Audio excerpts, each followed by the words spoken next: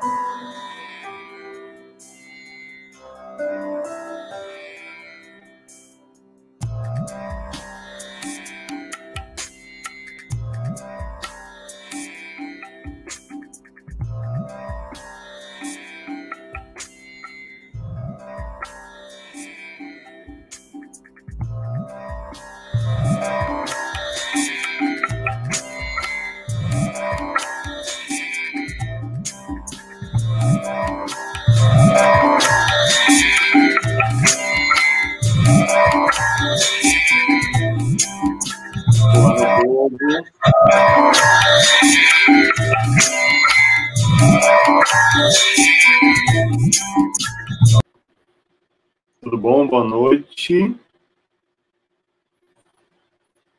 Vamos iniciar essa noite linda e maravilhosa, tá?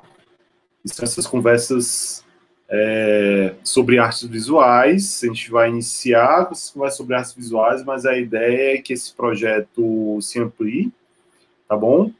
A princípio, nós estamos planejando conversas a, casa, a cada 15 em 15 dias, certo? E essas conversas, é, cada vez contemplando tanto artistas locais como artistas do cenário nacional e, quem sabe, até artistas do cenário internacional, ok? Hoje nós vamos iniciar é, esse ciclo de, de bate-papos com conversando com a professora Virginia Lemos, que também é professora do Instituto Federal do Piauí, como eu. Sou o professor Fábio Lopes, para quem não me conhece, trabalho no Instituto Federal do Piauí Campos Oeiras. É, e a professora Virginia Lemos, ela é mestre em artes visuais, especialista em história da arte e em artes visuais e metodologia do ensino da arte. É professora do IFP Campos Valença e pesquisa educação libertária, performance e instalação. Boa noite, Vika. Boa noite. Tá Olá. Bom? Nosso próximo convidado é o Narciso. Narciso Rosário. Ele nasceu em Piracuruca, Piauí, no dia 5 de abril de 89. E viveu até 2010 em Piracuruca, quando ele se mudou para Teresina, onde ele desenvolve as pesquisas no campo das artes visuais, atuando como artista visual, ilustrador de livros, é, criador de capas de livros, tatuador e artista é, de jogos eletrônicos. Suas referências passam por diversos artistas visuais, como ele, um de nome esquisito aqui. Ele vai falar todos esses nomes aqui melhor do que eu, mas entre eles tem o Gabriel Arcanjo, que é piauiense, é, Claude Monet, Leno Carvalho, que também é um quadrinista piauiense, João Borges, que é um escultor maranhense, mestre desenho, artesão piauiense, dentre outros vários, né? Desenvolve suas poéticas visuais a partir das experiências do cotidiano, alimentadas pelas memórias individuais e coletivas, fazendo uso das mais diversas materialidades. Boa noite, Narciso. Tava muito. Boa noite, gente. Maravilha. Boa noite, Fábio. Boa noite, Mica. Boa noite. Estou muito feliz, estou muito feliz nessa noite linda e maravilhosa, tá bom? Então vamos começar. Mandem bala, eu vou sair um pouquinho e já já estou de volta para a gente conversar.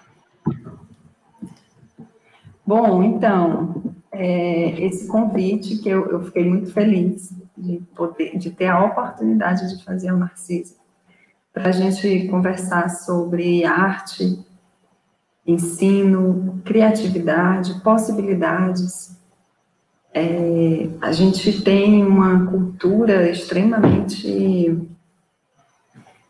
é, de, de, de, extrema desvalorização da arte. A arte tem uma importância tão absoluta na vida do ser humano que ela é boicotada, digamos assim, é manipulada. Ela serve como é, veículo das mais diversas ideias. Né? Então, ela é utilizada das diversas formas. E um questionamento que se faz: para que serve um artista? Para que serve a arte? Né? O que é arte? Para que, que ela serve? O que, que a gente faz com ela? Ela é importante de verdade? Porque tudo é arte, afinal. O que é arte? Né? A gente não pretende responder todas essas perguntas, porque são perguntas que realmente eu, é, tem diversas respostas, muitas. Então, a gente estava num diálogo sobre as possibilidades e as identidades de ser artista. O que é ser um artista? A gente nasce artista ou aprende a ser artista? Se a gente para para pensar numa perspectiva mercadológica, porque o nosso sistema é regido pelo mercado. Então, pensando nessa ótica totalmente é, capitalista, o que, que um artista faz? Trabalha, como é que artista sobrevive? Né? Porque a arte, ela é um alimento, mas é um alimento da alma, né? A matéria precisa de um suporte material para se manter em movimento.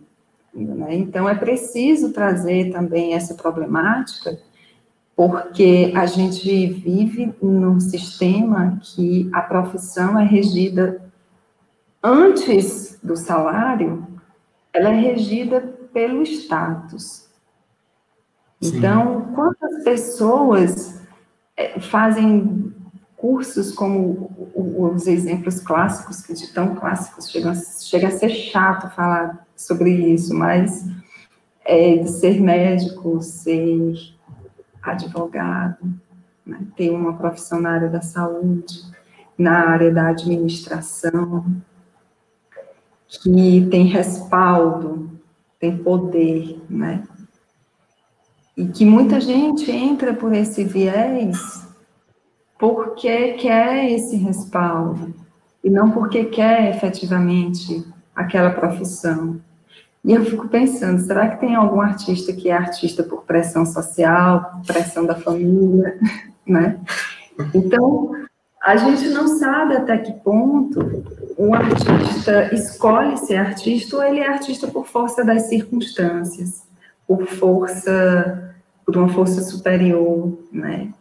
E tem essa ideia de que a arte é uma coisa meta, é metafísica de fato, né? Mas que ela é tão transcendente que os artistas terminam tendo um pouco dessa característica de transcendência. Né? E a arte do Narciso é isso, é transcendência, demais. Então, é, a gente queria ouvir um pouquinho, Narciso, sobre o que é ser Narciso. Eita. Então, a pergunta.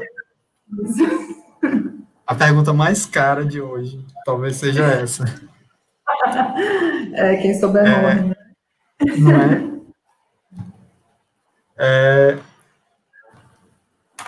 Como é que a gente. É complicado, sabe, também se descrever enquanto enquanto artista, é, a gente, é, no meu caso, como pessoa formada, né, no curso de artes, às vezes a gente passa por umas discussões sobre é, é importante, sabe, a gente saber como descrever o próprio trabalho, é, sustentar esse discurso. E muitas das vezes os processos são tão naturais, são tão interligados no cotidiano, no, vem de uma forma visceral mesmo do corpo, que, que descrever isso é, seria como descrever a própria vida, sabe? Porque é dentro dos cotidianos que esses processos acontecem. De, do processo criativo, de criar e ser artista.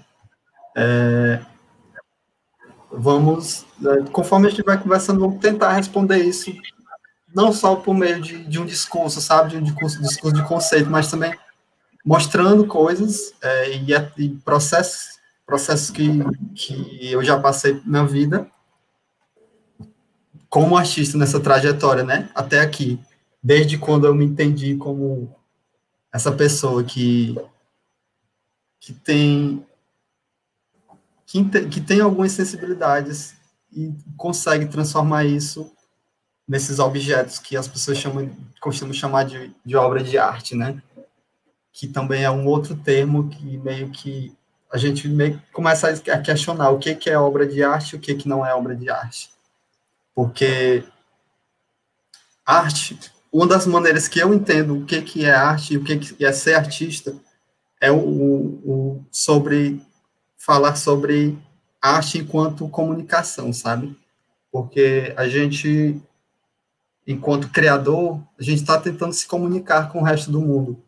A gente está tentando falar como a gente percebe as coisas desse mundo. Então, a arte é também informação.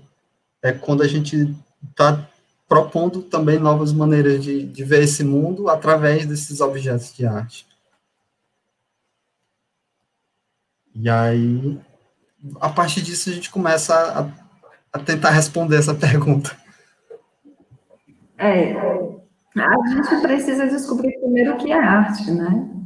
Então, é importante a gente situar, inclusive, dentro da literatura sobre arte, alguns conceitos que não são respostas, mas são alguns direcionamentos que, que a gente pode ter para não ficar achando, por exemplo, que absolutamente tudo que existe no mundo é arte, que é um equívoco é, muito recorrente que é proveniente de uma época histórica do ensino de arte, né? Que houve um equívoco muito grande por parte. Na verdade, eu me pergunto se foi um equívoco ou se realmente a coisa foi planejada para que se direcionasse para esse, esse caminho de dizer que tudo é arte e tirar da arte o que ela tem de mais importante, que é a arte. Porque a arte, ela vira, é, um, no, no, no ensino, ela vira uma forma de descontração, para que as crianças possam se divertir. Não que ela não possa ser isso, ela pode, ela Sim. é isso também. Só que tira a arte da arte. A arte tem que combinar com o sofá ou ela tem que divertir de distrair as crianças. Ou então ela tem que ser prática, tem que ser uma arte para fazer um bordado, né? uma arte utilitária. E, e não necessariamente, né? Então, a gente tem teóricos que dizem mesmo claramente: a arte não serve para nada, a não ser para ser arte. O intuito dela é esse. Então, por que, que um artista faz arte? O que, que ele pretende com isso? Como a gente pode ter uma pequena noção do que é isso de, de tirar de dentro, que eu acredito muito no transbordar, eu gosto desse termo, porque o que transborda, a gente não tem controle sobre o que transborda, o transbordante, né? Chega um momento que sai mesmo e a gente fica muito nessa ideia bem mística da, da figura do artista, da artista, de que essa pessoa, nesse caso específico tu, tira de algum lugar extrafísico, que está em outro plano que a gente não sabe qual é, e traz para cá e se manifesta em forma de arte. E como é que esse processo termina virando um trabalho, porque é, arte é, é trabalho, né? Ela é um sim, fazer. Sim, é um fazer. É o fazer, um ofício. Tem, inclusive, a escola de artes e ofícios. Né? Então, é, como é isso e como é se inserir no mercado de trabalho nesse sentido, né? De que a gente tem se, se por um lado a gente tem essa mística da arte, por outro tem a desvalorização da arte exatamente em virtude dessa mística dela, né, desse poder transcendente da arte, inclusive de monopolizar, né, de construir gostos, ideias, que é também uma, uma, se der tempo, se a gente tiver tempo para discutir isso, né, para a gente falar sobre essa construção do gosto para a arte. Todo mundo ama Romero Brito. Por quê? O que que faz? O Romero Brito seja um expoente da arte contemporânea se a gente tem realmente outras coisas? É, uma das coisas que tu falou, assim, que que existem muitas pessoas que se posicionam enquanto artistas que questionam essa coisa de, de arte enquanto função, sabe? que colocam isso em xeque, em discussão. Será que a arte tem que desenvolver um papel mesmo dentro da sociedade? É, ou ela só tem que existir também, né? Como fala, nesse lugar de. Como parte do mundo, né? É parte desse mundo, como qualquer outra função, qualquer outra coisa que existe. É, e aí tu trouxe coisas que são que eu vivo pensando muito é, enquanto artista em processo, né? A gente fala o, é, processos criativos, identidade, sabe? A gente vem falando sobre isso, inclusive, como título do, da conversa, trazendo. É, e aí, enquanto pessoa que está vivendo, existe, não existe um ponto em que eu vou me considerar pronto para nada, enquanto artista. A gente está sempre é, em processos, né? As, e as identidades estão acontecendo dentro do, de um mesmo corpo. E conforme a gente vai vivenciando. Por exemplo, é, nessa atual situação que a gente está vivendo, de, de pandemia, crise de saúde e tal, e é uma, é, aí fica em voga muito o papel de artistas e artes, sabe, enquanto é, se, é, se é uma atividade essencial ou não para a sociedade, sabe? E aí eu fico pensando muito sobre isso também, é, levando um pouco para o que tu estava falando, de como é que é essa história, essa coisa de, de, trazer toda essa mística e transformar isso em trabalho, sabe? É, existem linhas muito tênues entre essas coisas, essas questões, porque enquanto é, pessoa inserida no meio de artes visuais, falando de mim, é, as possibilidades são muitas, sabe? São, eu costumo pensar que são infinitas. E às vezes isso pode ser um problema, pode não ser um problema. Como é que poderia ser um problema? Justamente porque as possibilidades são infinitas. São muitas as possibilidades, e aí a gente fica, fica nesse lugar de o que é que eu posso fazer? O que é que eu vou fazer se eu vou focar nessa área ou naquela? Sabe? E aí isso pode não ser um problema, como? Como não pode ser um problema essas infinitas possibilidades? É, a gente se aceitar enquanto pessoa que transita e se transforma enquanto está vivendo, sabe? Enquanto o mundo também se move, a gente acaba é, acompanhando isso e vivenciando. É, tem uma professora do curso de arte que fala muito que a gente, enquanto artista, é, a gente acaba enxergando o mundo, fazendo leituras do mundo desse mundo que a gente está vivenciando agora. E aí, a partir disso, é que a gente se recria e se transforma e vai criando o nosso trabalho, sabe? Fazendo as leituras mais reais possíveis. Por isso que eu falo também de arte enquanto informação, sabe? Que, e essa mesma professora, a Poliana, do curso de artes, ela fala que se a gente for investigar a história da humanidade, o que é mais pertinente e mais mais forte e verdadeiro que a gente pode analisar seriam as obras de arte, porque é lá que está a verdade, sabe? É a real verdade da história, porque quem está contando não é não é necessariamente aquelas pessoas que que estão construindo a história enquanto donas do poder, mas sim as pessoas que estão vivenciando a história a partir de suas próprias maneiras e transformando isso em comunicação, né, que pode vir através de pinturas, esculturas, textos, músicas e, e dentre as mais diversas é, possibilidades. E aí, é, continuando falando sobre essa ideia de muitas possibilidades e, e como é que a gente transforma isso de uma forma a captar, a ocupar-se enquanto profissional dentro de um, de um meio capitalista que exige que a gente esteja dentro de lugares, sabe, dentro de caixas.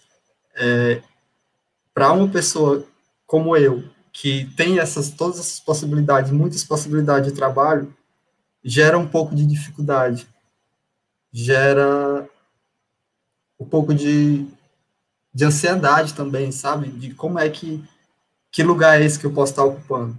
E aí eu, como artista que está nesse lugar, eu acabo aceitando isso como natural, de que eu não necessariamente tenho que fazer uma coisa só pela vida inteira, ou separar etapas da vida para vivenciar coisas específicas. Eu tenho vivido muito é, todas as minhas potencialidades de uma maneira de uma maneira bem bem ética, sabe, bem todas elas vão vivenciando de, de forma horizontal.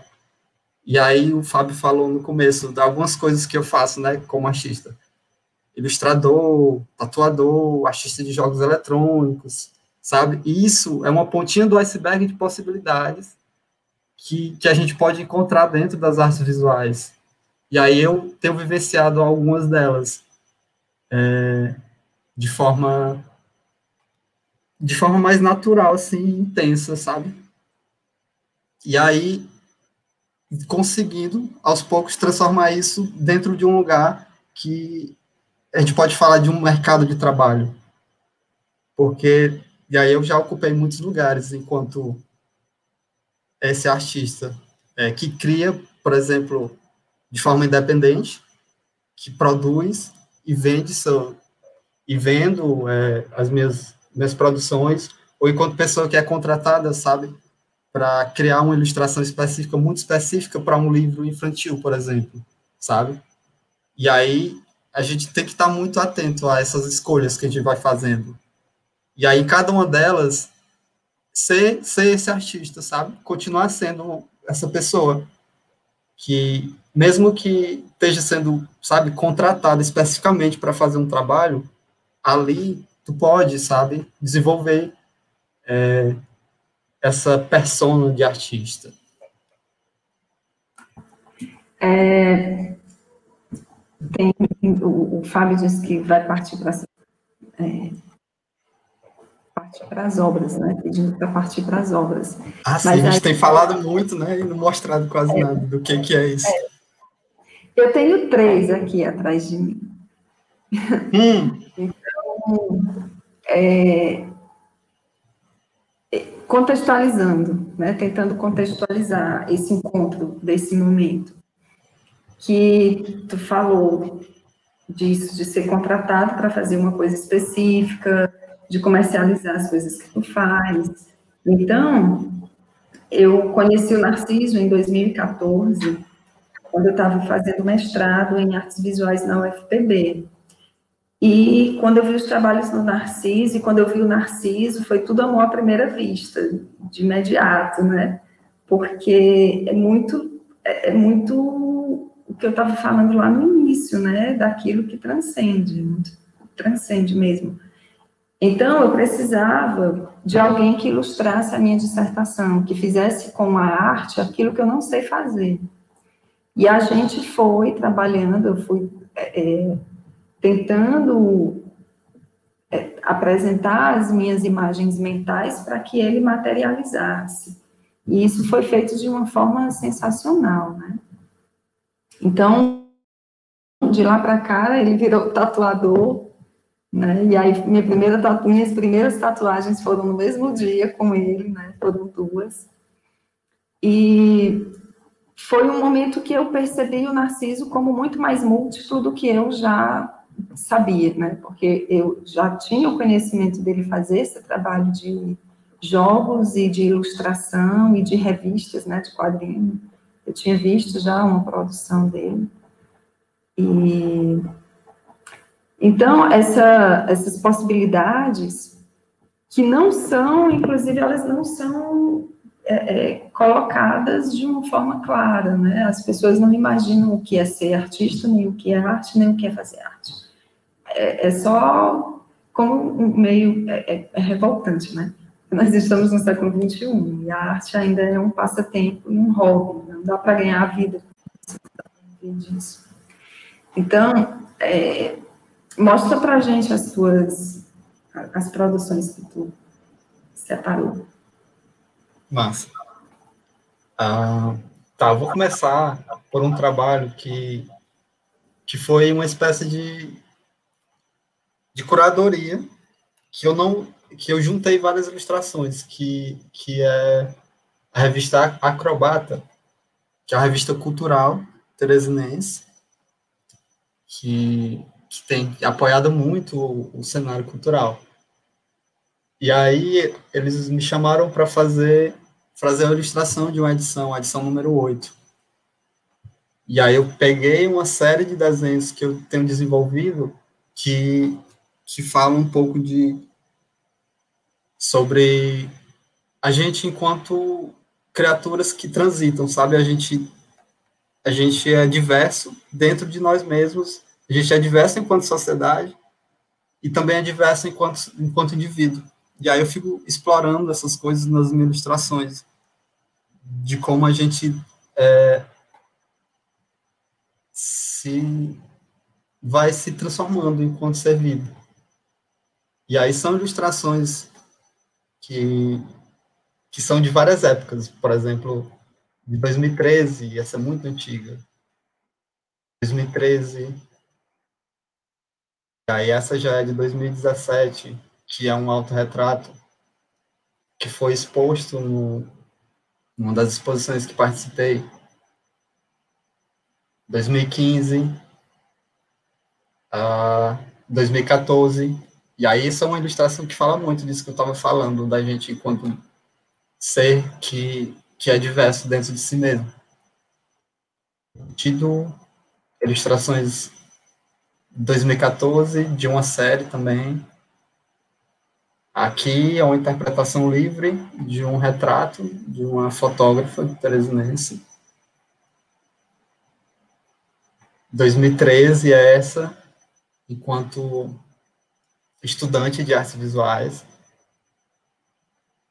2014 já, já, já tem um pouco de diferença, sabe? Essas ilustrações que a gente vê, por exemplo, anteriores, elas têm umas características de usar muito ponto, e aí aqui eu uso técnicas de bico de pena e nanquim. Aqui já é um pouco mais diversificado essa, essa materialidade, que já é um pincel de pelo, que já é mais orgânico. Então já é um desenho mais fluido. Bico de pena, 2013, 2014. Aí são desenhos mais recentes. E, ah, e aí, para essa para Acrobata, eu criei uma capa específica. Eu vou mostrar rapidamente para vocês que foi que é exclusiva do a revista que eu chamei ela de de à vontade que é falando um pouco sobre isso de da gente enquanto transdiverso, sabe? Indivíduo e transdiverso. E aí uma temática muito recorrente é a ficção científica também no meu trabalho, que eu tento explorar isso da gente enquanto como a gente se relaciona com com as tecnologias que estão nos, que nos cercam a todo momento. E aí eu vou mudar um pouco também, falei disso de ilustrações e agora eu vou para quadrinho, que trabalhei junto com um amigo, que ele é roteirista, e aí a gente criou diversos quadrinhos juntos. E esse é um deles, que chama Rizoma, que é um trabalho que é muito, fala muito sobre o processo de identidade no roteiro, durante todo o roteiro. É um quadrinho que não tem diálogo, ele é todo construído apenas com narrativas visuais somente as ilustrações é que vão contar uma história. Aí é o processo de uma criatura que vai se transformando conforme ela vai vivenciando as coisas. E aí, ao final dessa história, ela já está muito diferente de como ela começou. Já é só um aperitivo do, desse processo. Por exemplo, para construir um quadrinho desse, eu levei um ano inteiro, sabe? De produção enquanto estudante de artes, etc. Mas aí eu ia fazendo no tempo, no tempo extra da vida. Por necessidade, assim, de contar a história mesmo. Aí, quadrinho, ilustrações. Ah, eu vou falar agora um pouco de exposições que eu participei. Vou mostrar uns cartazes de alguns trabalhos, de algumas coisas que, que hoje eu participei, organizei, ajudei a organizar por exemplo, Feira de Quadrinho, de 2013, a gente participou com história, é, catálogo de exposições diversas. que aconteceram em Teresina e em outras cidades, Parnaíba. Aqui é um cartaz de uma exposição nacional que o SESC organizou, e aí eu fui convidado, através do SESC Teresina, a, a fazer, a representar o Piauí. Todos os estados enviaram representantes, e aí eu participei com ilustração. Eu vou já encontrar aqui para mostrar rapidinho para vocês.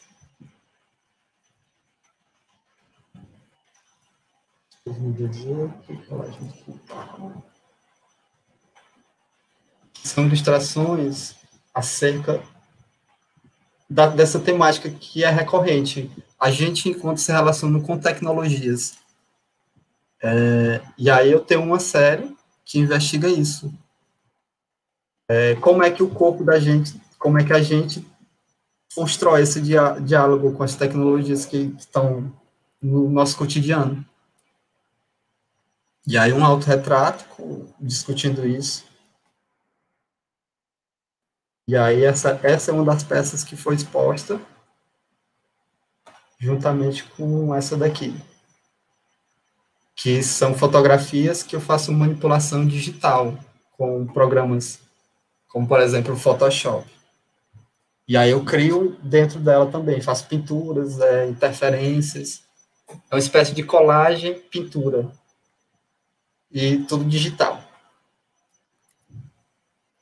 E aí também não sou, eu trabalho com jogos, com criação de jogos. E aí esse é o jogo sobre a lenda do Cabeça de Cuia, em que eu faço parte, eu fiz parte do, da equipe que criou ele. É, e aí eu fiz os, os desenhos base que geraram essas ilustrações, que é o termo correto é concept artist. Eu crio os conceitos visuais que vão ser a base para o ilustrador que vai finalizar isso. E aí aqui é o trabalho de uma outra pessoa baseado no que eu criei. Aí eu posso mostrar rapidamente também para vocês.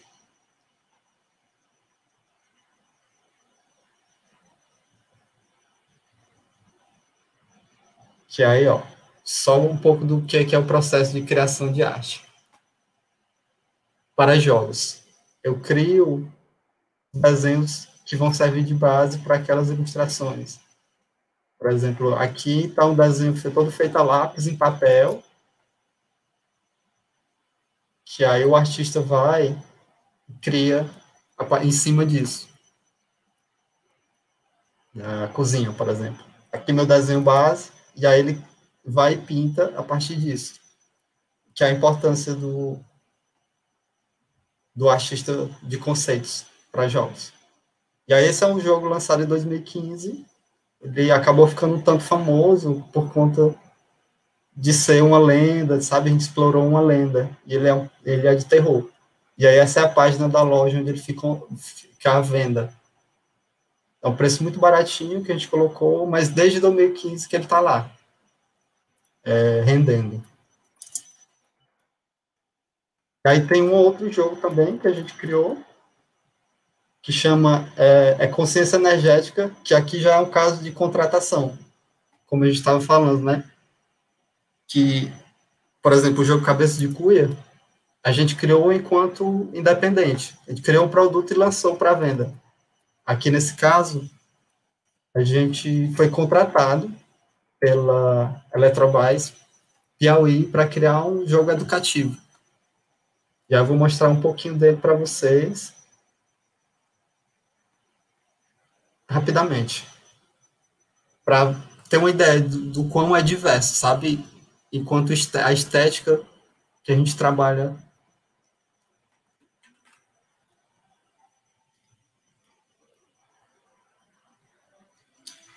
E aí a gente sai de uma temática de terror muito obscuro, noturno, aí já cai para uma ideia de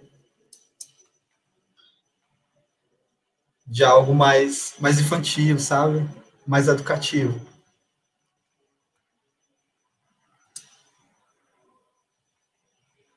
E aí, no caso aqui, eu trabalhei criando esses cenários. Todo esse cenário de fundo foi eu que pintei. E aí outros, os outros artistas criaram outros elementos. Aí é basicamente isso daqui. E aí dentro daquele jogo existem três mini-jogos que, que, que, tem, que são usados como, como, recurso de, como recursos educativos, né, para conscientização. É um jogo sobre o uso correto da energia elétrica, o uso consciente, um jogo que ensina sobre reciclagem, é, materiais recicláveis e a coleta seletiva, e aí um jogo que discute sobre poluição do meio ambiente, né, preservação e tudo, toda essa questão. E aí, mais recentemente, eu trabalhei em um jogo com a equipe que aí aqui a gente pode falar de, de, de fato de uma diversidade, em que as pessoas que trabalharam nessa equipe estavam espalhadas pelo mundo. A gente fez, fez um encontro online, é, e aí começou a produzir no final de semana, em que tinham brasileiros, estadunidense e russo, e uma pessoa da Rússia. E aí a gente desenvolveu um trabalho, que é um joguinho muito curto, e eu vou mostrar só um pouquinho dele para vocês acompanharem. O que é que aí já que já é muito diverso de todos aqueles que a gente viu anteriormente.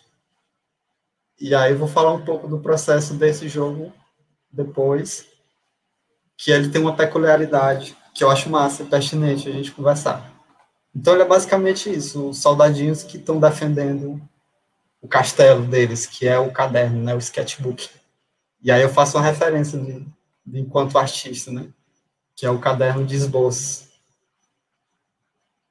Ele não tem uma temática profunda, a gente estava investigando sobre as possibilidades que, o, que, o, que essa temática poderia oferecer.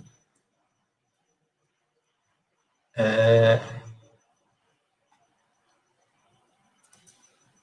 Pronto, aqui é um vídeo que o, o, o, nosso programador Juan Belo fez, que é um parceiro de trabalho que eu tenho na área de jogos. A gente tem construído muita coisa juntos. E aí, aqui é o, eu encerro sobre jogos. Eu vou falar agora de.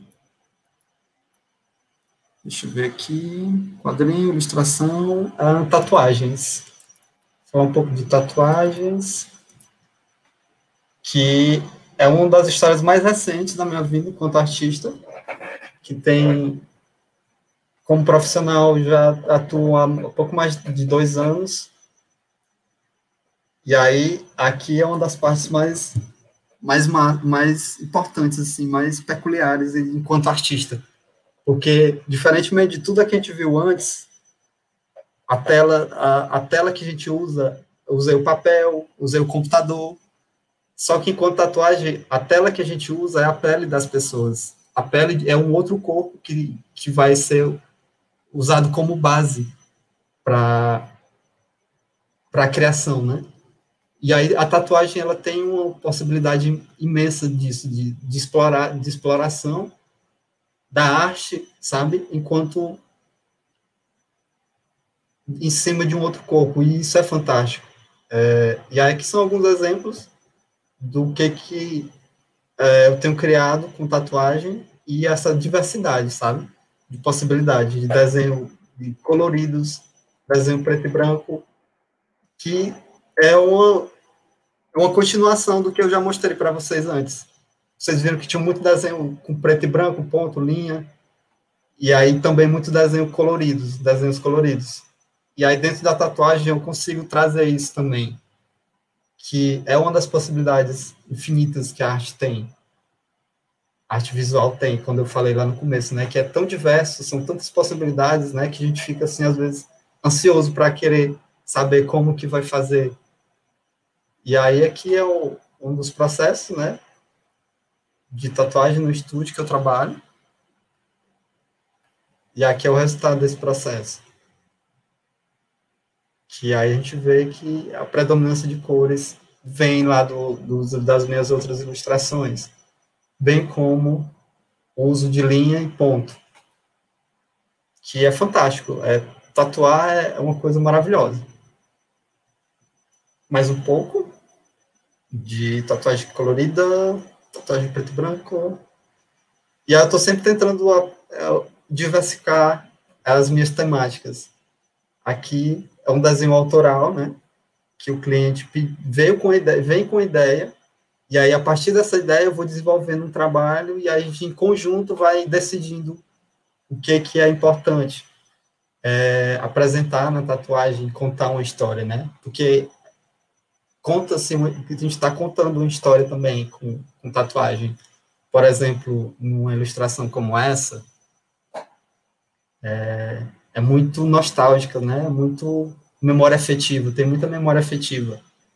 E aí um desenho que eu criei, por exemplo, um desenho que eu criei, postei, aí a pessoa se identifica imediatamente já já marca para a gente tatuar isso, que é uma das coisas maravilhosas assim da, da do trabalho com tatuagem. E aí é isso.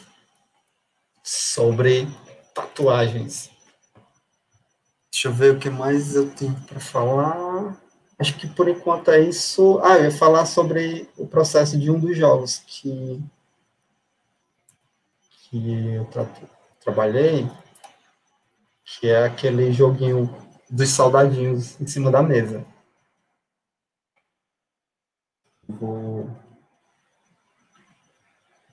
mostrar rapidamente a peculiaridade desse processo, para falar também justamente dessa diversidade, o quão isso é diverso. Ele é um jogo que era para ser criado arte digital originalmente. E aí, durante o processo, a gente decidiu que seriam origamis. E aí eu peguei e construir um origami para ir testando, para sentir como é que seria a, a criação do jogo. Aí eu fiz um teste de animação, e aí, depois que eu vi isso, que eu mostrei para o restante da equipe, eu disse, aí eu tomei uma decisão disso, vamos fazer o jogo inteiro com isso. Eu vou fotografar é, todas, todos, todos os origamis, tudo que for no jogo é fotografado. E aí eles aceitaram a ideia, e aí a partir disso eu fui criando todo o jogo em, em 72 horas. A gente criou, tinha 72 horas para criar esse jogo. E aí, durante esse tempo, eu criei alguns origamis, e aí fui, fui trabalhando, fotografando eles e fazendo as animações. E aí aqui são todos os, aqui estão todos os, os origamis que que eu fiz para o jogo, que é o mapa geral de tudo que aparece. E aí, a partir deles, a partir dele, eu criei todas aquelas, aquelas animações que a gente viu.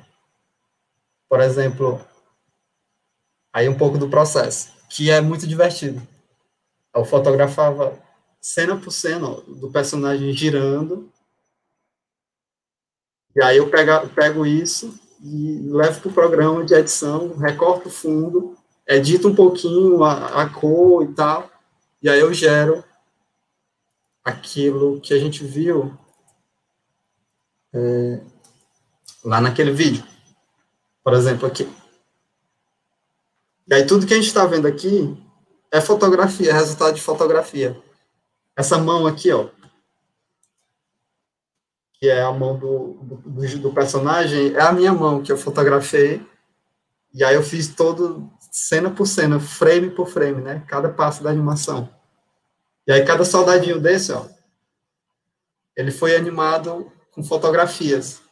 O resultado, ele fica desse resultado porque a gente manipula um pouquinho, né, algumas coisas. E aí essa esfera aqui é uma bolinha de gude, é uma peteca. Esse caderno é o meu caderno que eu fotografei, meu caderno de desenho que eu fotografei. E aí tudo que aparece pra, basicamente 90% do que, que a gente está vendo aqui é fotografia, é resultado de fotografia. Por exemplo, aqui, ó, em cima do caderno, esse, essa dobra que gera o soldadinho, o papel aberto, ó, e aí ele gera uma animação que é resultado de uma fotografia de foto, foto por foto que eu fui fazendo. Por exemplo, aqui, ó. Aí é, isso para mostrar que, sabe, é, a diversidade é isso, as possibilidades são infinitas. por exemplo, tá aqui a animação do, do papel dobrando. E aí eu fui fazendo origami, fotografando passo a passo. E aí, a partir disso, eu gerei as imagens que foram para o jogo. E a... É, como está muito longo, eu vou encerrar por enquanto, por aqui, essa fala de mostrar esses processos e abrir um pouco para a gente conversar mais, para não ficar tão maçante, só eu falando, falando, falando, falando.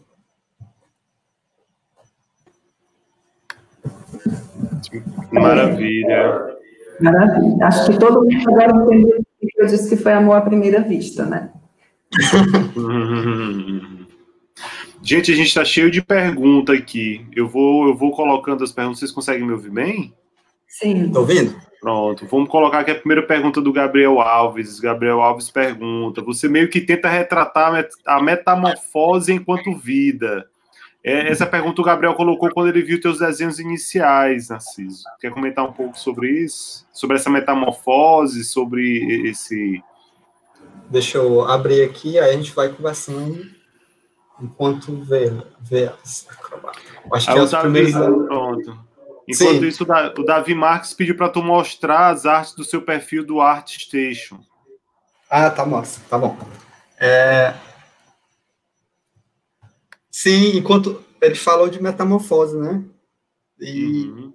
é sobre isso também, né? A gente começou falando sobre essa diversidade de um, de, dentro de um próprio corpo e quanto processo. E aí falar de processo é justamente isso, metamorfose. A gente vai se transformando enquanto enquanto indivíduo, né? E aí se a gente é, tudo que eu tenho feito representa muito isso, sabe? É, é um processo que está se desenvolvendo. Conforme a gente vai olhando é, as temáticas que vão se, se diversificando e a própria técnica, o manuseio dos materiais, eles vão se transformando ao longo do tempo. E, então, existe essa metamorfose da gente enquanto, que tá, enquanto a, a obra em si, né, o que a gente está produzindo, enquanto a gente mesmo, e como a gente está produzindo, né? Porque aí a gente vê que nesse começo de carreira, desenhando muito com lápis de cor, com bico de pena, aquarelas. E aí a gente chega no, no mais recente, né, que é uma, uma, interpretação de como é que isso pode ser diferente, o quão pode ser diferente. É usar uma simples dobra do papel, dobrinhas organizadas para criar um, produto, uma coisa, né, um resultado, um trabalho. E aí tem uma outra pergunta, é um outro pedido, né? Para mostrar um portfólio de ArtStation. É isso mesmo. Aí também o Raimundo Neto está perguntando aqui quando tu começou a tatuar. Enquanto tu procurei, tu já pode começar falando um pouco sobre, Neto, sobre esse ah, processo. Eu comecei a estudar tatuagem, eu estava terminando o curso de artes visuais é, lá para 2017, meados de 2017, estava no finalzinho do curso, e aí comecei a estudar, entrei no processo de estudar, que aí eu não anunciei publicamente que, que, que eu estava nesse processo. Eu fui tatuando alguns, alguns amigos que, que participam do processo, que é muito importante enquanto aprendiz, enquanto a gente é aprendiz tatuador, é, ter essas pessoas que, que acompanham a gente né, nessa jornada. E aí eu comecei a estudar. E aí, lá para 2018, 2019, 2018, eu assumi publicamente que estava tatuando. E aí fui trabalhar no estúdio de um amigo, do Thiago Saraiva, que na época chamava Corisco Tatu. E aí, atualmente, eu, eu componho a equipe da Casa Barro, que é um estúdio maravilhoso, enquanto proposta geral. E aí é isso, eu tenho eu tenho pouco tempo enquanto tatuador profissional, trabalhando em estúdio mesmo assim, atendendo publicamente. Mas é um processo que eu, eu maturei, eu, eu maturei o máximo que eu pude. Então, acho que eu passei uns dois anos maturando isso. Enquanto estava terminando o curso, fazendo outros trabalhos, aí eu ia desenvolvendo paralelamente esses estudos de tatuagem. E aí eu vou mostrar esse bendito portfólio ArtStation, que aí tem uma diversidade de aquarelas. É, que não apareceram ali, né, algumas coisas. E aí, por exemplo, coisas, é, temática que eu gosto muito de, de trabalhar. Ai, meu Deus, aqui tá errado, não é aqui. O João, tá, o João Vinícius está perguntando quanto tempo levou para montar cada frame. Eu acho que dos jogos, Eita, né? Tá dos jogos. Do, dos jogos. Eu acho que é dos origamis. Ah, eu não sei te precisar, eu não sei te precisar o tempo, porque era tudo muito corrido, assim. Eu tinha que fazer, entregar o mais rápido possível para a gente já desenvolver. Porque aí eu tive que recortar o fundo da ilustração. Por exemplo, aqui, aí eu recortava o fundo, aí apagava tudo, selecionava, aplicava um pouco de filtro para gerar uma cor e montar a animação, né, que é organizar tudo. E aí eu não sei de precisar o quanto tempo, mas aí eu vou te mostrar aqui os resultados como a gente produz, né, as animações. Mais simples, acho que é. Ah, esse é o, é, o, é o arquivo final que a gente gera para enviar para o programador. E aí ele vai inserir isso dentro do jogo e gerar animação. Então, ó, vamos lá. Vou te mostrar só as quantidades das coisas, essas animações, para tu ver o, a loucura que é, que é massa. E isso no final de semana manipular cada um dessas, dessas, desses frames, ó, limpar todos eles, organizar e fazer essa imagem sem fundo e organizar dentro desse arquivo, que aí ele vai ser gerado é, para o trabalho. Por exemplo, a caminhadazinha são quatro frames. Aí o ataque, ó, aquele que eu mostrei primeiro, ele girando, é o espadachim. E aí eu tenho que organizar o, e aí a, a, a, espada é um outro origami separado, que aí eu vou inserindo ele é, em cada, em cada uma das posições. E aí eu não sei te dizer o, o tempo, porque foi muito corrido. Mas é isso. Ah, é um pouco de trabalho, mas é, é massa, é divertido. Se não fosse divertido, eu não estaria aqui, sabe, nesse lugar. E Narciso, é, a maioria do nosso público aqui hoje são os nossos alunos, né? É, não só alunos certo. do IF Campos Oeiras ou do IF Campos Valência, mas nós temos aqui vários professores também presentes e alunos de outros campos, né? É, gente de Cocal, Uruçuí, que falou aqui. E assim, Massa. todos eles estão é, é nesse período de isolamento, têm se deparado com algumas questões, né? E aí, assim, tu como artista, Fala um pouco para eles de como a arte é, e de como o exercício da arte é, pode auxiliar nesses tempos de isolamento físico, pode, pode auxiliar é, nos processos de entendimento de mundo mesmo, sabe? É, pode é, auxiliar no processo de entendimento dessa pluralidade, dessa diversidade que a gente que a gente tem no mundo, né? Massa. É, eu posso começar falando isso mostrando é, quem foi Narciso no, durante os primeiros meses de, de, de, do isolamento físico, né, de pandemia. Eu entrei, eu fiquei sozinho em casa, e aí eu tinha muita coisa para fazer enquanto tatuador, mas a gente não podia tatuar. E aí eu fui buscar outros meios de continuar produzindo, de continuar criando e, de certa forma, para manter a sanidade mental, sabe? De suportar toda essa ideia de, de que a gente não pode se ver, não pode se tocar, não pode se encontrar. Porque, por exemplo, uma das fontes do, de inspiração do meu trabalho é o cotidiano. Então, é uma das formas, que, uma das coisas que me motiva a criar é estar tá vivenciando coisas no dia a dia, principalmente no mundo. E aí eu comecei uma série de pinturas é, dentro de casa, aproveitando os materiais que eu tinha disponível e tentando ressignificar isso. Por exemplo, nessa, nessa aquarela, eu usei uma embalagem de, de, de aveia, e aí eu recortei ele, aproveitei o fundo amarelo, e aí eu criei em cima disso. É, ressignificando, sabe? Ressignificando o cotidiano. Por exemplo, aqui é, são flores do, do meu entorno, daqui da minha casa, de umas caminhadas que eu fazia muito cedo. E, e aí foi, foram, foram as, essas maneiras que eu encontrei, sabe, de, de sustentar esse dia a dia, como diz o Belchior, sabe? Que essa alucinação da gente suportar o dia a dia é um tanto quanto complexa. E aí a arte, ela, ela continuou na minha vida, mesmo é, com essas outras tantas impossibilidades.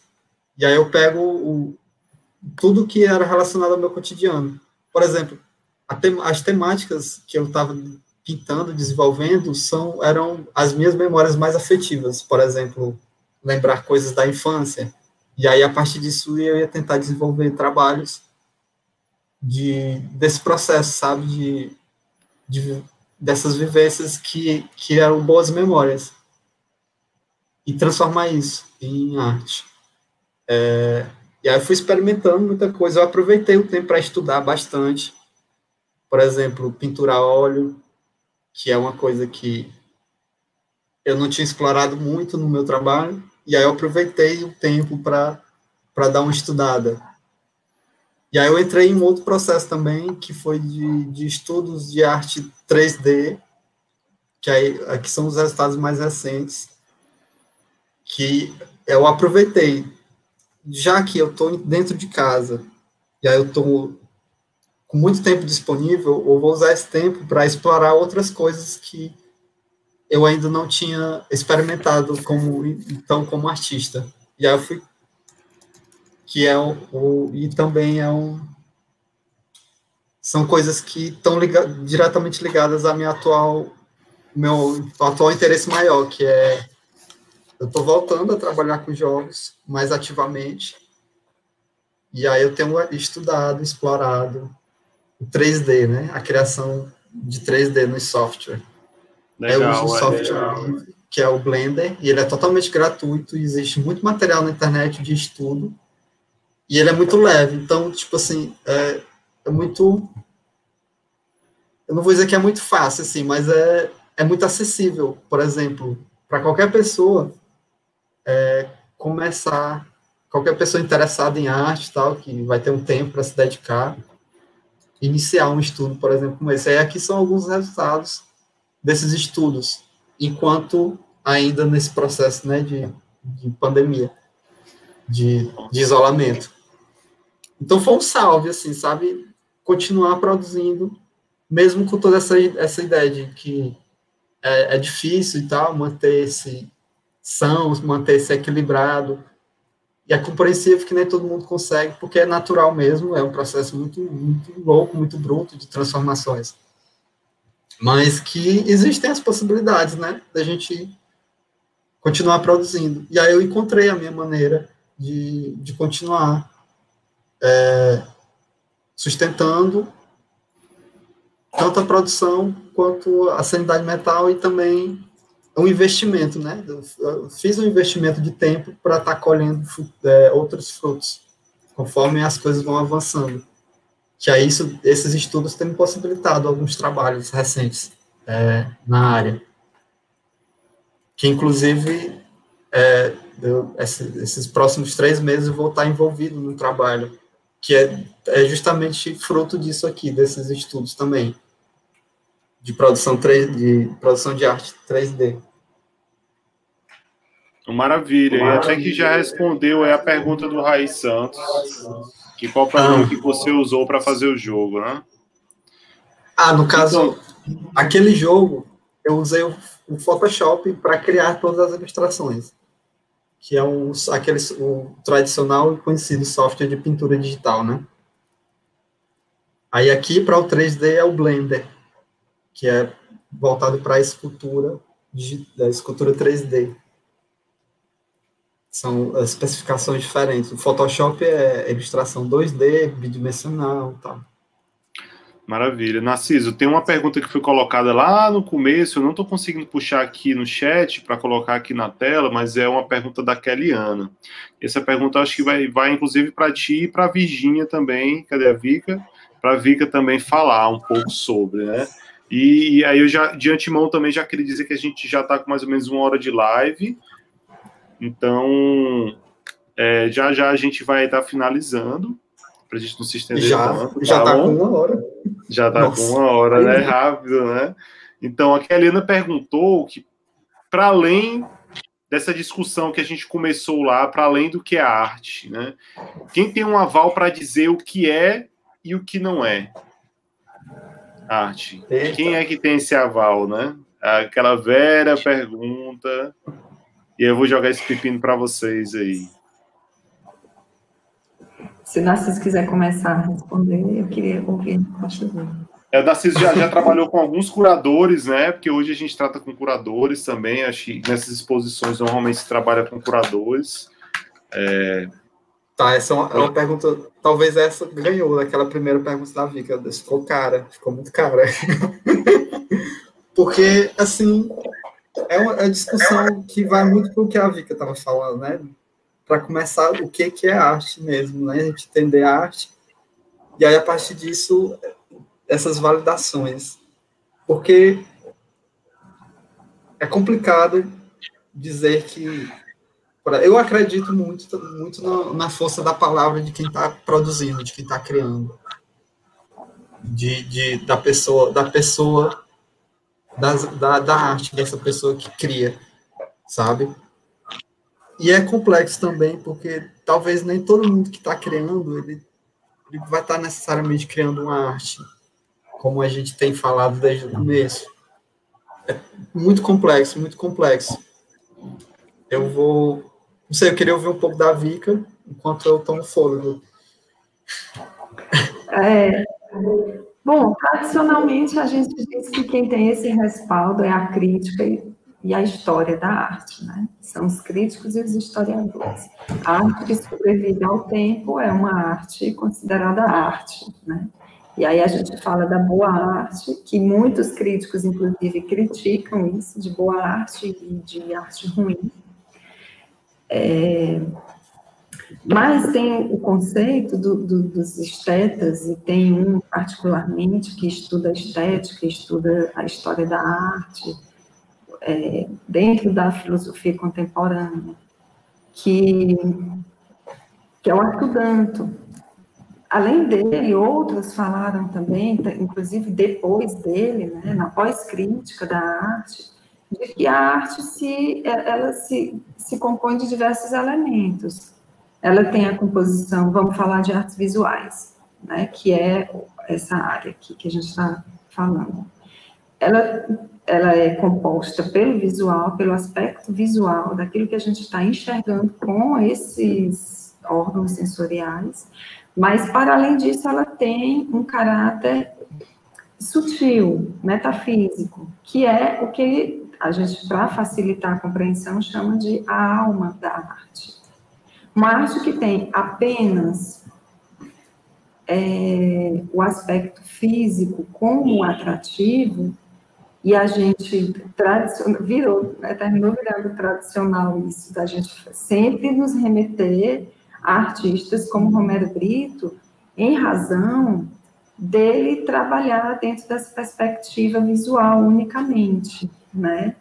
Que tirando, tira a alma, tira o sentido, no sentido de sentir, né?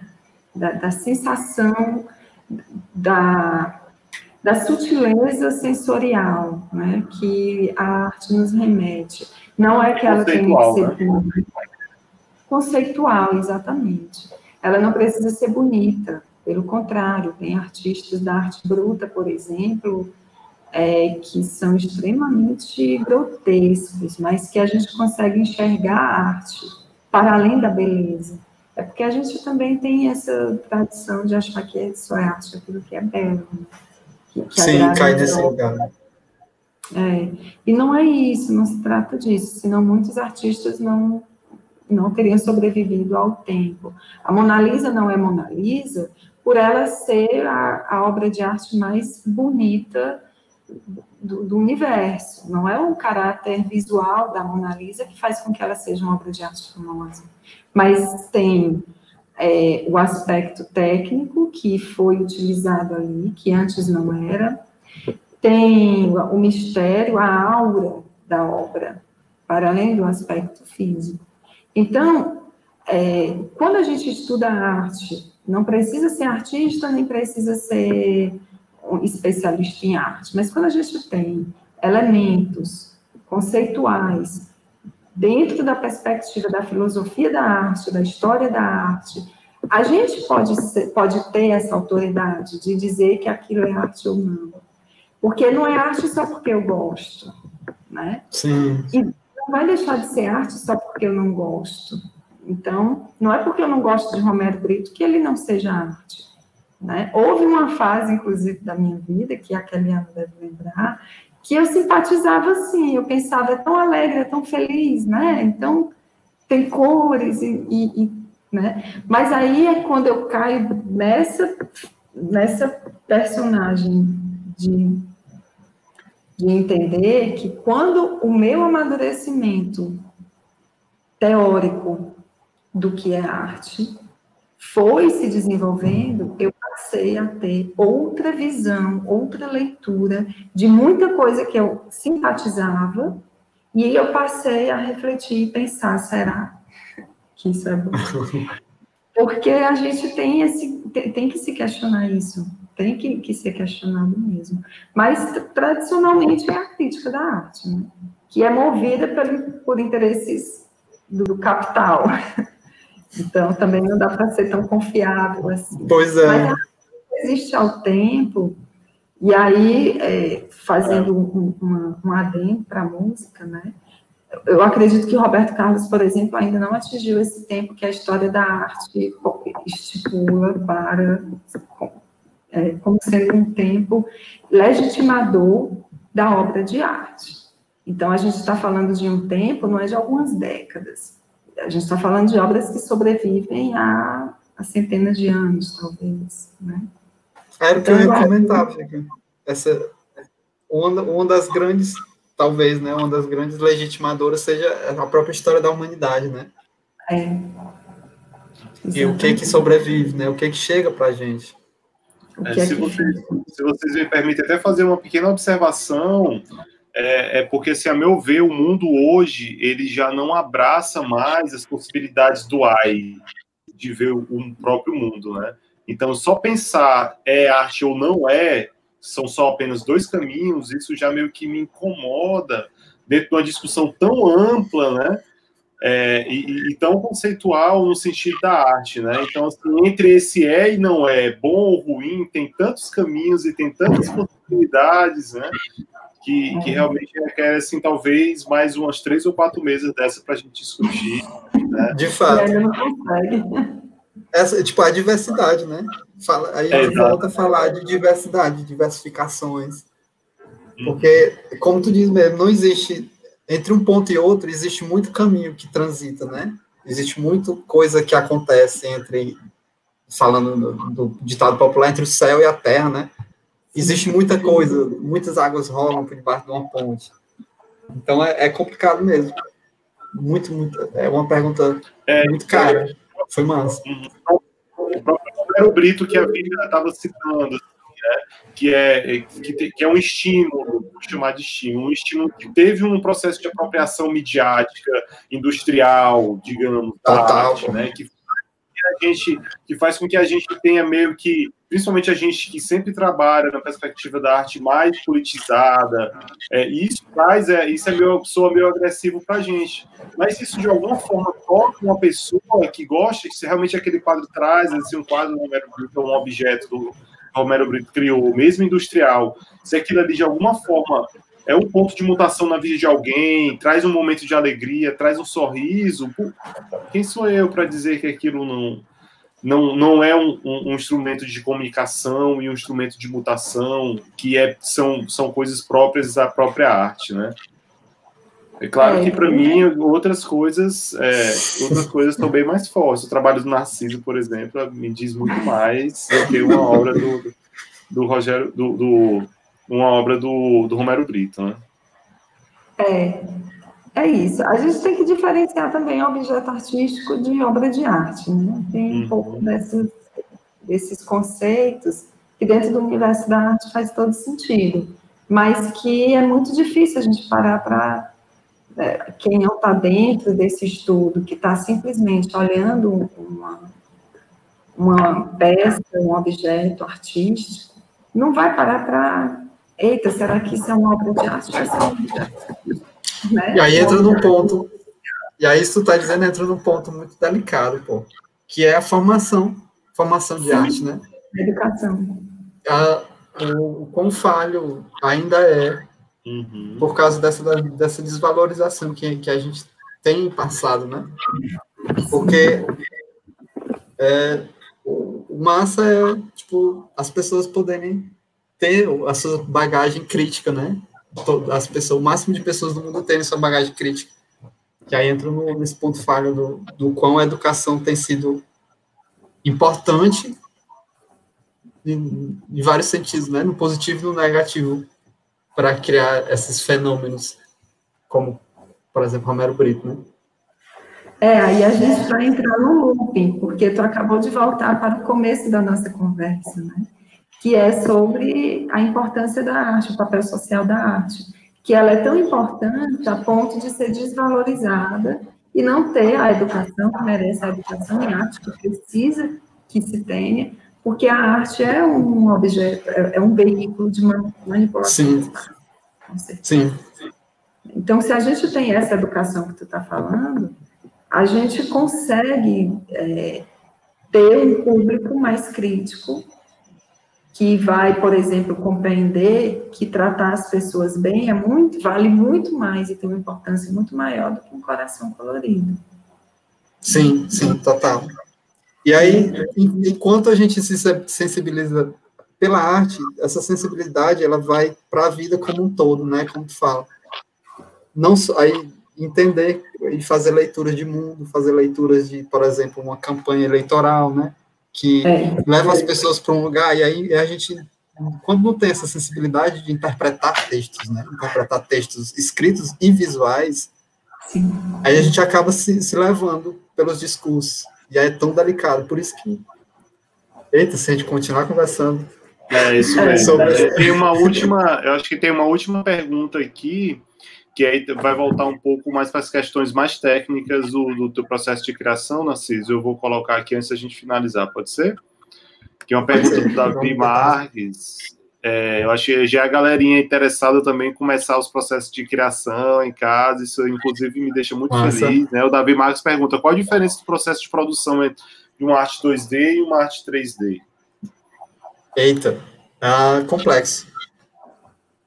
Porque por exemplo, a arte, criar arte 3D, ela está diretamente ligada à arte 2D, porque ela vem de lá, ela vem desse, ela tem a base a partir de um desenho que eu posso mostrar aqui um pouco do, desse processo, que aí se torna sempre mais divertido a gente mostrando.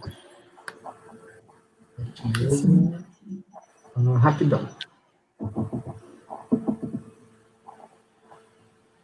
Por exemplo, quando eu digo que uma coisa está muito ligada à outra, é, por exemplo, para criar um personagem 3D, eu tenho que partir de uma ideia bidimensional.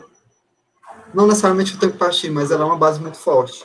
Por exemplo, eu crio um modelo em duas, em duas dimensões, né, que é o desenho 2D, e aí a partir dele eu vou criar um modelo e gerar esse 3D. Então, eu já tenho que visualizar no, no desenho 2D toda, toda a tridimensionalidade dele, né?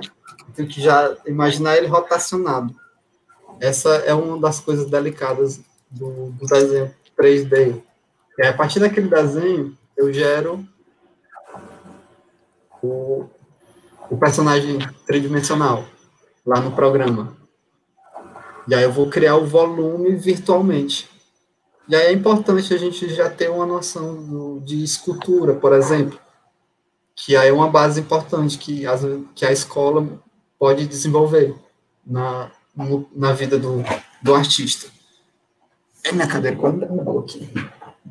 Ah, e aí, falando de diferenciações básicas, ah, para mim não tem muita diferença, porque enquanto eu estou criando uma ilustração bidimensional de 2D, eu já estou visualizando ela de uma maneira tridimensional.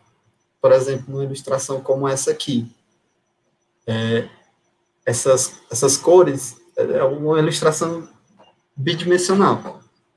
Mas eu já vou acentuando coisas, volumes, luz e sombra, para gerar uma ilusão de tridimensionalidade, por exemplo. Então, para mim, é, não existe muito essa diferença, sabe? Mas ela, ela é, é óbvia no sentido de, da própria materialidade da construção.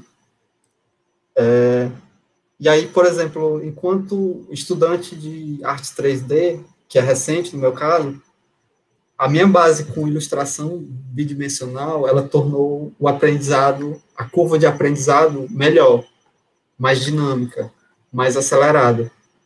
Então, eu digo que a diferença, é, que existe uma diferença é que a ilustração bidimensional, a arte bidimensional, ela é uma base, ela tem a sua personalidade, todas as suas características, e ela funciona também como uma base importante para quando a gente está criando é, arte 3D, falando resumidamente, assim, por causa do tempo. Eu espero ter conseguido e ficar aberto. Beleza. Assim, a gente trocar mais ideias. Maravilha. Pois então, vamos para a gente poder finalizar. Eu queria dar uns dois minutinhos para cada um de vocês é, fazer aí as palavras finais, trazer as palavras finais, e a gente finaliza essa live de hoje com muita felicidade, muita informação maravilhosa para os nossos alunos. Aí. Vika? Tá, é,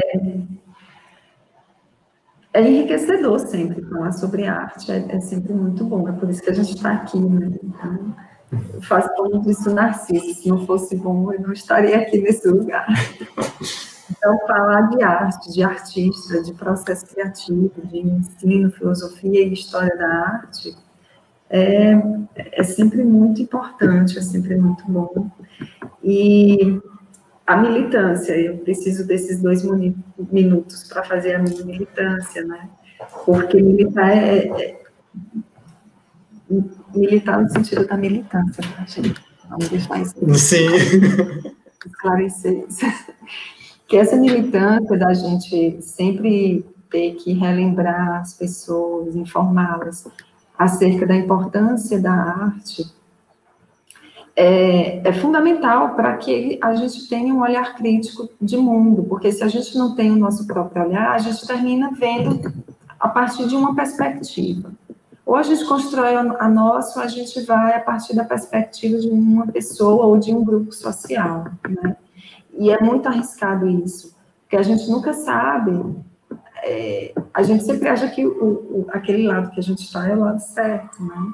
Então termina caindo em preconceitos e equívocos que são fruto da desinformação, da, da má formação, e, não deixar que esse sistema, esse, esse controle, essa, mono, essa monopolização que fazem das nossas mentes e daquilo que a gente pensa, não permitir que, que façam, que continuem fazendo isso. Né? Sempre questionar absolutamente tudo. A gente fica aqui o tempo todo evocando Romero Brito, porque ele virou um, um exemplo da arte ruim, né? Mas há um grupo enorme de pessoas que gostam. E por que, que essas pessoas gostam? Elas não se questionam sobre o porquê de seus gostos. O, o gosto é naturalizado, ele não é natural, ele é naturalizado, né? Então, esse momento de militância nossa é exatamente para que a gente consiga despertar e entender que nem tudo que a gente vê é verdade, né? Isso não é um cachimbo. É, Sim. Fazendo uma referência a uma obra de arte aí, que, que tem um cachimbo que tem escrito que isso não é um cachimbo. Então, a gente tem que se questionar que cachimbo é esse, que cachimbo é esse que a gente está passando, que a gente está aceitando. E trazer essas obras do Narciso e essa pluralidade dele, né, essa diversidade, tanto diversidade de materialidade quanto de ideias, porque são muitas possibilidades, é importante para a gente entender que artista pode não parecer, mas artista é a gente também. Né? Então, é, é, eu quero agradecer tudo isso, agradecer ao Narciso por ter se disponibilizado a, a participar desse, desse, nosso momento de formação e ao Fábio por articular tudo isso também. Massa, Vika. É, eu, eu tô falando uma coisa que eu estava assim pensando muito em falar, que é isso, que a gente é uma pessoa, tá ligado? A gente é uma pessoa que vive. Eu acho que, que não, mas tu que vive em sociedade, vive em conjunto. E tem as peculiaridades de cada um, né? mas é como. Eu, é, eu me vejo como uma pessoa, uma pessoa simples, que, que é do cotidiano e que. Que é assim, às vezes a gente fica surpreso, né? Com, com os resultados que a gente cria. Às vezes eu fico muito surpreso. Nossa, eu criei isso. Veio da onde? que reforça o que tu tá dizendo, mas. É, a gente, a gente é, é, pessoa, sabe? A gente tem as, as problemáticas da, da vida, e aí, aí, aí leva para o lugar assim, de pensar o que, que é o sucesso né, na, na vida, tanto de artista quanto profissional, de uma maneira geral. Da? O que, que é sucesso? O que que, porque, enfim, às vezes é difícil, como qualquer outra profissão, a gente tem as dificuldades mesmo e tal, mas, mas é isso, é, não desistam de, de tentar ser artista, porque a gente, a gente vai abrindo caminhos para outras pessoas também. Eu, eu penso muito sobre isso, que, que às vezes a gente está numa linha de frente, enquanto pessoa, e está abrindo caminho para outras. Muitas pessoas me falam assim também, sabe? não desiste, porque tem, tem alguém que está se inspirando em ti, alguém que te tem como inspiração para continuar. E aí eu acho que é por aí, sabe? Que, que é uma motivação massa. Que a gente está abrindo caminhos para outras pessoas, sabe? Uma linha de frente. Então, vamos, vamos ser artistas, né? É isso aí, maravilha. É, fazendo aí um pequeno comentário sobre a fala da, da Virginia e dessa importância dessa militância nesse processo de descolonização, né? É, a princípio, a gente tem que ter um entendimento que, como a Vika falou, esse gosto que nós temos construído tão fortemente dentro da nossa sociedade brasileira, nordestina, piauiense, é, esse gosto é um gosto que foi criado dentro do processo de colonização que a gente já vem sofrendo há muitos anos, né? E o que se busca é justamente descolonizar. E, mais uma vez eu digo, muita felicidade em estar descolonizando com vocês, tá? Não só com vocês dois aqui, mas com todo mundo que está participando dessa, dessa live maravilhosa, desse bate-papo maravilhoso, viu? E, gente, é, esse vídeo vai ser disponibilizado é, para os alunos do Instituto Federal. Eu ainda vou começar direitinho com o Narciso e com a Virginia, a gente também vai disponibilizar e deixar aberto dentro do, do, do YouTube do Laís, tá? Mas por enquanto vai estar circulando só através desse link é, que foi enviado para vocês é, e, e, vai estar disponibilizado dentro das salas de aula aí dos professores de arte do Instituto Federal que queiram, porventura, utilizar dentro de suas aulas. Ok? Então, até a próxima. Daqui a 15 dias a gente volta aí com mais um papo maravilhoso. Massa. Valeu. Obrigado. Tchau, tchau. Tchau, tchau, galera. Tchau, tchau. Tchau, tchau para todo mundo.